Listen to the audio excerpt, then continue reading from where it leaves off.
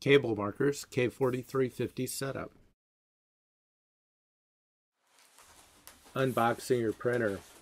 You will not need all of the items that shipped with the printer. Some of the items are for label printing only. What you will need is the software, the printer, the power supply and cable, and the take off and take up spindle for the ribbon. You can remove the uh, label spindle inside the printer and you can also remove the protective cardstock over the print head.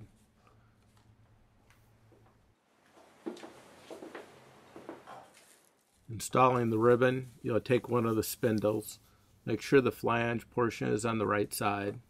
You'll put the ribbon on so the ribbon is actually going in a clockwise fashion. You'll install this ribbon on the back spindles of the printer. Pull the ribbon through the printer. Put the cardboard stock on the other spindle, make sure the flange is on the right, and then install that in the printer on the front spindles. Tape the front of the ribbon and then roll the ribbon in a clockwise fashion to take up the slack.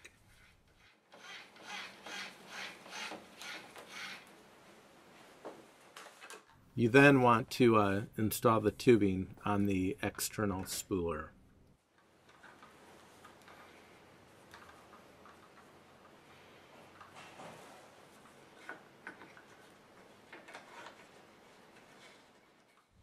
Guide the tubing through the back of the printer through the opening slot in the back side.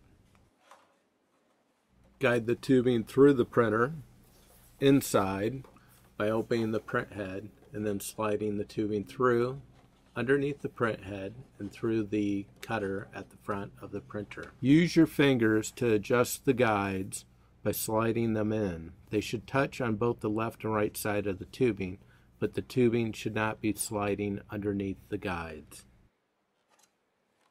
Firmly lock down the print head. Setup is complete. Now install and configure the print driver.